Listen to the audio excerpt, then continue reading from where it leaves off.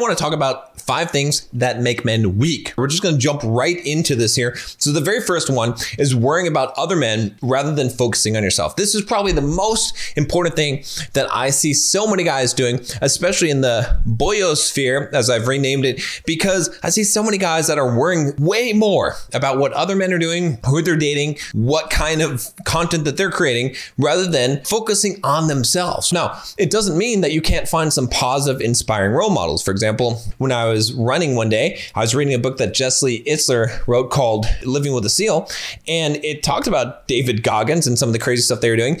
And at that time, I felt like I couldn't run a marathon. I thought I'd run some half marathons. I thought this is crazy. But when I listened to that book, it inspired me. I realized that I was being weak and that I was actually capable of running a marathon if I wanted to. And the very next day, I ran a full marathon, all right, without any training. I already been training a little bit there. But the point is that you can use other guys for inspiration, but don't worry about what they're doing and what they're not doing. If your focus is on other guys, then your focus cannot be on yourself. Instead, you need to be focusing more on yourself. What are you doing with your life? What are you accomplishing? Not what are they doing wrong? Don't be an armchair quarterback and instead focus on yourself. Now, the second bad habit that you're doing is worrying about women rather than focusing on yourself. Again, the boyosphere is just become a place of worrying about women, worrying about who women are dating. What do they have on their uh, social media profiles? What do they have on their Instagram? Are they on OnlyFans? It doesn't matter. Why does it matter to you? What does it matter if all of them are corrupt and you know three or fours? Even using language like that is ridiculous. It doesn't make any sense. Why are you worried about these people? Now, if you're dating a girl, you can worry about the girl you're dating, but don't worry about what other girls are doing out there. Don't worry about what women in general are doing. Don't worry about women if they're feminists. So what? Let them be whatever they are and focus on what you're trying to accomplish in life and what you want. If you don't want to date any girls that you don't like, don't date them. You don't have to go out there. No one's forcing you to do that. Instead, focus on yourself. Focus on improving yourself, becoming the man that you want to be, and don't worry about all this stuff. See, all this worrying about other people and worrying about what they're doing is going to cause you a great amount of emotional distress. You're going to be angry all the time. You're going to be sad. You're going to feel lonely. You're going to feel upset. If you're feeling those things and you're feeling hopeless in life, it's because you are worrying about other people. Because here's the thing about it all negative emotions come from what? Unmet expectations. And when you worry about things you can't control, that is going to be the exact thing that creates these unmet expectations. Because if you expect the world to behave in the way that you want it to, you're going to be sorely disappointed and you're going to have negative emotions. If you want to get rid of that and actually become successful, stop worrying about other people, stop worrying what they're doing, stop worrying about what they're thinking, instead focus on you.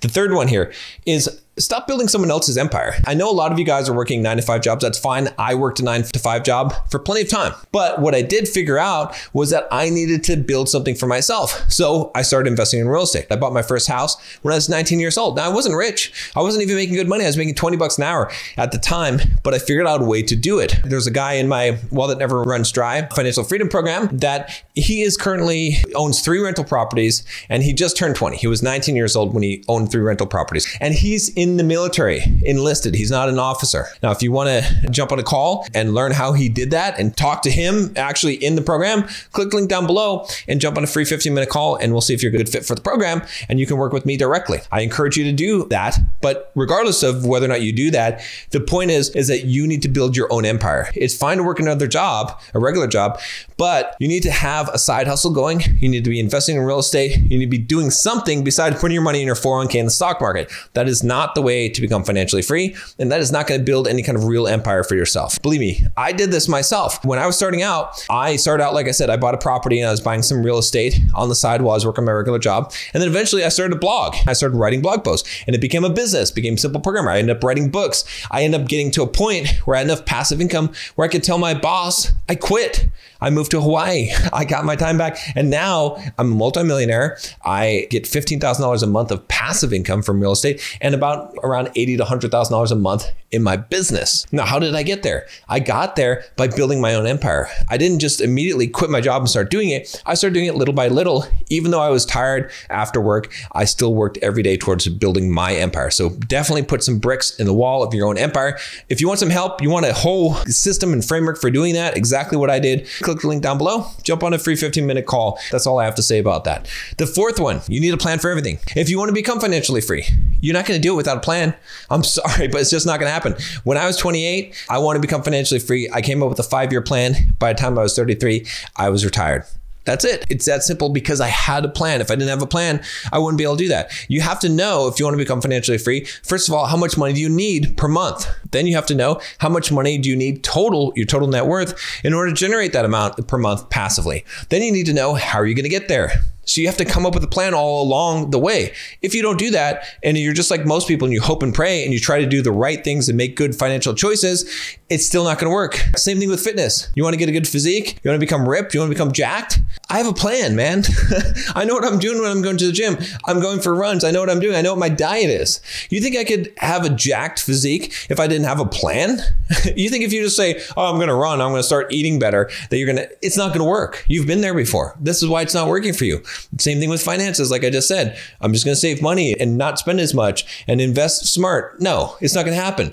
Dating, same thing. You, if you don't have a plan, you're not going to work that out either. You need to have a plan. How are you going to improve your dating life? How are you going to get the girl if you're looking for a wife or if you're just looking to become a playboy? How are you going to do it? You need a plan. So come up with a plan for everything in your life that you want to accomplish. That is the key. The fifth one, being afraid to speak up. I don't have any way to put it besides that you're a coward. The thing is, when you do speak your truth, when you tell people how it is or what you think, a lot of people are going to get upset. They're going to get butthurt. They're not going to like you anymore. The key is to do it with tact in diplomacy. You learn that by doing it. You become more diplomatic because you go through that process. And so the problem is so many guys they don't speak up. They have principles that they profess to live by, but especially in the boyosphere, I don't see anyone actually living by those principles. They see some crap that's going on, they don't say anything, or they think that they're being a savior and saying things and they're just calling people names. Instead, you need to learn how to address issues and how to speak your mind and to say what is an issue. When you see something, call it out. You don't have to be nasty and name call call people, but you can say, hey, I don't agree with this. That's not right. With women, guys, don't allow them to disrespect you. I say this all the time. If you're dating a girl, if, if a woman disrespects you, you say, hey, that's not cool. Don't talk to me like that. Whatever it is, call it out, set a boundary. If that person continues, cut them out of your life. It's as simple as that. You have to speak up. Don't just say yes. Don't just agree to things that you, that you don't agree with. Instead, learn to tactfully express how you actually think and feel about a subject. And you're not going to be weak. You're not going to be a coward. They might not like you at some time, but overall they will respect you. And a lot more people in general will like you because they know that you're authentic and you speak the truth. But I see so many guys that are afraid to speak up, they're afraid to say anything. Now, don't interpret this wrong.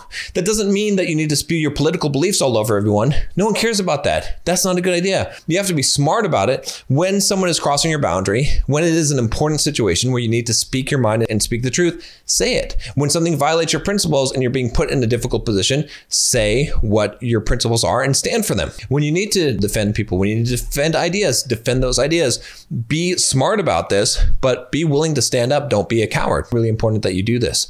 Now, if you guys want some help, like I said, with the financial aspect, click link down below. And if you're in your 20s right now and you want to learn the six things I wish I knew in my 20s, click link here. Watch this video next.